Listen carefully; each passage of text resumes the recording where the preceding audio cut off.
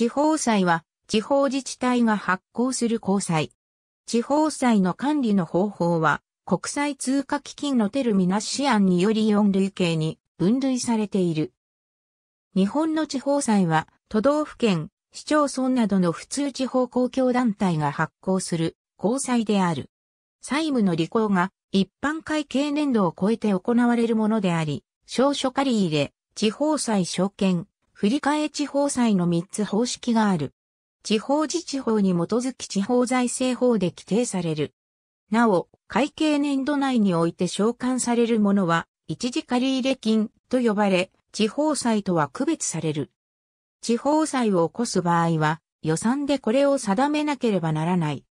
機能国との関係地方公共団体が地方債を起こし、または記載の方法、利率もしくは償還の方法を変更しようとする場合は、総務大臣または都道府県知事との協議が必要とされている。また財政悪化を示す指標が基準値を超えた場合には、許可を必要とする記載制限が設けられているなど、国の一定の関与が定められている。その目的は一般には次の通りとされる。残高地方債の残高は2006年度現在139兆円に達している。1990年代後半の景気刺激策により発行が増加した結果、残高は膨らみ続け、2004年度にピークに達した。その後わずかに減少に転じてはいるものの、なお高止まりしている。なお、地方債残高に、交付税特別会計借入金残高と、公益業債残高と合わせた201兆円を、総務省では、地方財政の借入金残高と呼んでいる。個別自治体の地方債残高については、各自治体で公表されているほか、総務省の決算カードに全国統一形式で掲載されている。ただ、一時借入金は会計期末には生産されることから、決算カードには残高として記載されない。地方公共団体の歳出の財源は原則として地方債以外の財源とし、次の場合において地方債をもってその財源とすることができる。上記以外にも特例として対象とすることができるものがある。公的資金によるものと民間投資金によるものとがある。そのうち民間投資金による地方債の発行方法には公募と銀行等引受けとがある。記載許可記載には総務大臣または都道府県知事との協議が必要である。実質交際費比率が18%を超えた場合は、記載発行許可団体として扱われ、早期是正措置が求められる。公募地方債公募地方債は、広く投資家に購入を募る方法により発行される。さらに、市場公募地方債と住民参加型公募地方債とに分けられる。銀行等引受債地方公共団体の指定金融機関等の地元金融機関を通じて資金調達するもので銀行等引受債と呼ばれる。銀行等の引受地方債は、証券発行の方法によるものと、証書借り入れの方法によるものがあるが、小規模な自治体では、簡便な証書借り入れの方式を取ることが多い。期間、償還条件等の発行条件は一定しない。また、満期時の償還負担を分散するため、約定弁済付きとするものもある。利率は発行時の市場長期レートに準じて決定されることが多く、金利入札形式を取ることが多くなっている。発行は会計年度末が近い3月から5月にかけてが多い。なお、市場にはほとんど流通しない。関東大震災時の復興交際では正式な政府保障が伏せられていた。暗黙の政府保障地方債には暗黙の政府保障があるとされる。暗黙の政府保障は3つの制度によって支えられているとされる。それは地方債の元利償還に対する国の財源保障、記載許可制度、地方財政再建制度である。地方債は地方公共団体の財政が悪化した場合、記載できなくなる記載制限が設けられており、また政府が償還についての財源を保障していることから信用力の差はないとしてどの地方債も公平に取り扱うよう政府は求めている。金融機関のリスクウェイトについてもゼロとなっている。なお、夕張市のような深刻な事態でも、金融機関へ面積を求めなかったこと、さらには、その後制定された新たな地方財政健全化法の下でも政府が地方自治体の財政に関与していく基本線が確認されたことから信用力は確認されたと言える。さらに、上記のような一定の記載の制限措置があり、むやみな拡大は防止できることから、発行残高の拡大が止まらない国債より、かえって信用できるとの意見もある。ただ、信用力の基礎となる地方自治体の会計内容の開示については疑問も呈せられてきた。こうした問題点から2008年度決算から導入される地方財政健全化法の下では連結及び早期健全化の概念が盛り込まれた制度設計となっている。利回り差信用力のバロメータとも言える地方債の利回りを見ると、実際には自治体の財政状況によりわずかながら差が生じている。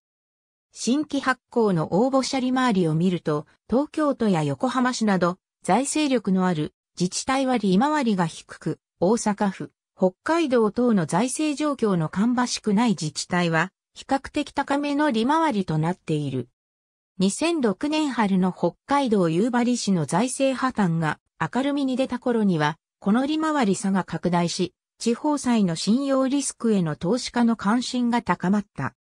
その後夕張指導用財政破綻に陥る自治体が続出する状況にないこともあって、利回り差は縮小した。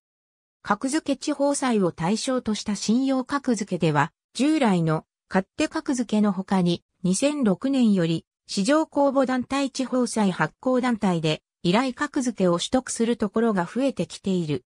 地方債の投資家として今後期待のかかる外国人投資家に対しては、格付け取得、特に外資系、格付け機関の格付けが好まれるという理由もある。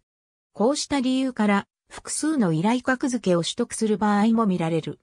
地方自治体も市場において公募地方債を発行しようとする限りは、上場企業のように、インベスターリレーションズにより、市場やその背後にいる投資家との対話を図っていく必要がある。明治維新から当分は、県以下の自治体再編に中央政府の手が回らず、行政法的に旧態依然として、財政は自助に委ねられていた。1909年の施行祭において、交際収入が歳入総額の56.4%を占めるようになった。この交際収入は前年比5.6倍であった。1925年の地方債全体において、交際残高は歳入総額の91.0%に相当するほど累積した。1971年から地方債と金融債の発行項が伸びた。地方債増加分の1項目に上下水道関係目的の発行があった。翌年には、オイルショックによる財政出動のため、一般補助目的の地方債発行が前年比でおよそ7倍となった。市場公募化市場公募地方債が拡大していくに、つれて全公募団体が同一の発行条件としてきた方式には、市場原理との乖離の恐れや、公正取引の観点からも疑問が呈せられてきた。このため、2002年度からは、東京都とその他団体との発行条件が分離され、発行条件に差が生じることになった。2004年度にはついで横浜市が、さらに神奈川県、名古屋市と個別条件決定方式への移行が続いた。2003年度には、東京都を除く公募団体が、連帯債務方式のもと発行する、共同発行公募地方債の発行が27、団体が参加して始まり、その後も増え、2008年度現在30団体に上り、道府県や政令指定都市が参加している。原則、毎月発行されており、その発行条件は地方債のベンチマークともなっている。一方、福岡県、横浜市、名古屋市といった強い経済基盤を持つ団体が離脱するなどの動きも見られる。2006年には総務省が交渉から離れ、2006年8月の事務連絡をもって個別条件決定方式に移行した。市場公募方式をとっていないその他の県においても、2003年度の地方債に関する調査研究委員会において、将来的にすべての都道府県及び政令指定都市が全国型公募債を発行することを視野に置きつつ、人口、財政規模の点で、現在の市場公募団体に準じる資金、調達能力を有すると考えられる。大規模な県においては、早急に市場公募化に取り組むことが必要とされるなど、今後も公募発行団体の増加と発行額の拡大が予想される。政府資金から民間資金へ財政投融資改革、郵政民営化により、資金の流れが政府資金等から民間資金への流れが強まり、2007年度地方再計画では民間資金の比率が6割以上を占めている。また、2007年度末から3カ年の期限付きで、総額5兆円規模の旧資金運用部資金、簡易生命保険資金、公営企業金融公庫資金の保証金なしでの繰り上げ償還が認められ、その一部は民間資金での借り換え債の発行が予定されるなど、公的資金から民間資金へのシフトは続いている。期間の長期化、借り換え債の発行民間資金は主として預貯金等短期から3年程度までの期間の資金を原資として引き受けることから、償還期間は10年から15年程度とするものが多いが、次第に20年、30年ものまで現れている。町長記載と呼ばれるこうした資金は、円火災なら国内の生命保険会社などが、外債ならドイツ銀行などの外資系メガバンクが最終の買い手となることが多い。また、償還に伴う交際費の負担と、社会資本の使用者の便益との標則を合わせるため、地方債は充当した社会資本等の対応年数に合わせて設定するのが普通であり、政府資金はその考え方に立ち従来から超長期のものも認められているが、民間資金においては引き受け側の事情によって10年程度としている。このため、満期日に全額償還するのではなく、一部新たな地方債の発行により実質的に借り換えすることがある。本来、償還のための基金の積み立てを行い、借り換えは一部に止めるのが筋であるが、財政逼迫により困難となる例も出てきている。今後ますます借り換え債の比重が増してくるものと予想される。存在感を増す外資系金融機関地方債が民間資金へシフトし、地方分権が進むにつれて、外資系金融機関の日本の地方債市場に対する関心が広がっていった。外資系金融機関の動きは、市場公募債の取引のみにとどまらず、自治体との直接取引などにも及んでいる。顕著な動きとしては、フランス系のデクシアクレディ、ローカル銀行が2006年11月に日本で銀行業免許を取得して東京支店を開設し、地方自治体向けの融資を始めた。デクシアグループは、フランスの政府系金融機関が前身だが1987年に民営化し、欧州各国を中心に公共部門向けの金融業務を行っている。日本では主に町長記載、融資を行っている。2007年2月に山形県の機関が20年の検済を引き受けたのを皮切りに大阪市、京都市、宮崎市、相模原市などにも町長期融資を行っている。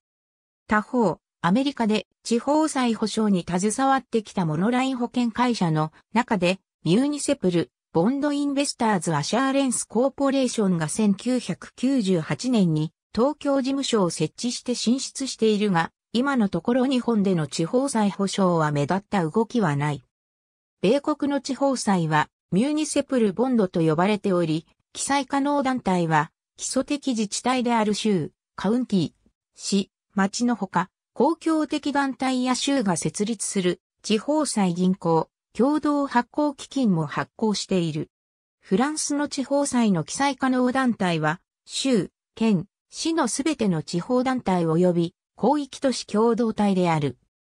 スウェーデンでは、地方債は1970年代から80年代にかけて発行には国の許可が必要とされていたが、1974年の地方自治法制定により地方自治体の自立が強められ原則として自由に地方債を発行できるようになった。